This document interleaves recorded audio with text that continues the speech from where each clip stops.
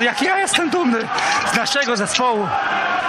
Po tylu meczach nie przegranych, najważniejszy wygrywany. Zostawiliśmy serducho i chwała chłopakom.